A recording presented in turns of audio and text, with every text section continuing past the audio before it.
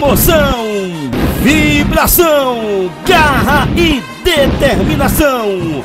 Um show de coreografias e musicalidade aqui no seu canal Banda Show.